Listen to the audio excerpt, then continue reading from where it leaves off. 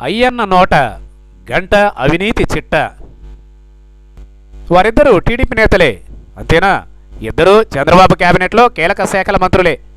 అంతేకాదండి ఇద్దరూ ఒకే జిల్లాకు చెందిన నేతలే.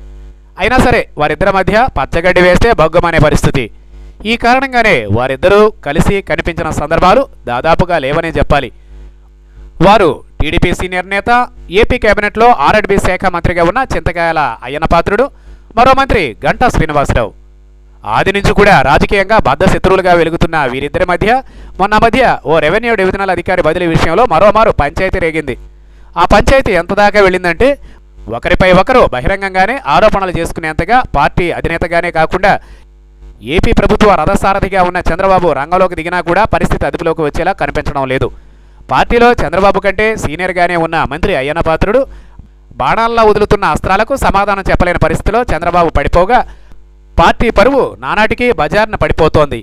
ఇక తాజా వివాదం విషయానికి వస్తే తొలుత టీడీపీలోనే ఉన్న గంట మొన్న మధ్య చిరంజీవి ప్రజారాజ్యం పార్టీలోకి వెళ్ళి అటు నుంచి అటే కాంగ్రెస్లోకి వెళ్ళిపోయారు.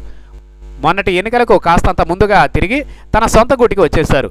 ఈ క్రమంలో విశాఖ జిల్లా నుంచే బరిలోకి దిగిన గంట అయ్యన్నలు ఇద్దరూ విజయం సాధించారు.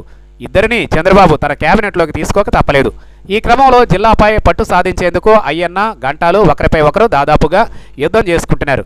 ఈ క్రమంలో గంట ఆయన అనుచరులు పెద్ద ఎత్తున భూదందాలకు పాల్పడుతున్నారని ఆరోపణలు వెల్లువెత్తాయి. దీంతో రంగంలోకి దిగిన అయ్యన్న గంట భూ కబ్జాలకు సంబంధించిన కీలక పత్రాలను సంపాదించేశారు.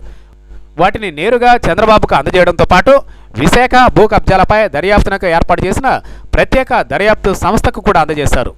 నాడు చంద్రబాబు తలంటుతో కాస్తంత తగ్గిన గంట మళ్ళీ తన దందాను కొనసాగించేందుకు రంగం సిద్ధం చేశారట. ఈ క్రమంలో మీడియా ముందుకు వచ్చిన అయ్యన్న మరోమారు గంట అవినీతి తంతుపై సంచలన వ్యాఖ్యలు చేశారు. విశాఖ డైరీకి చెందిన దాదాపు వెయ్యి కోట్ల విలువన్న భూమిని కాజేసేందుకు గంట పక్కాగా ప్లాన్ చేశారని ఆయన సంచలన వ్యాఖ్యలు చేశారు. విశాఖ డైరీ పాలకవర్గ సమావేశాన్ని స్థానికంగా కాకుండా ఏ ఒక్కరికి తెలియకుండా గుట్టు చప్పుడు కాకుండా గోవాలో నిర్వహించిన గంట తన దందాకు ఎవరూ అడ్డు రాకుండా జాగ్రత్తలు తీసుకుంటున్నారని ఆరోపించారు.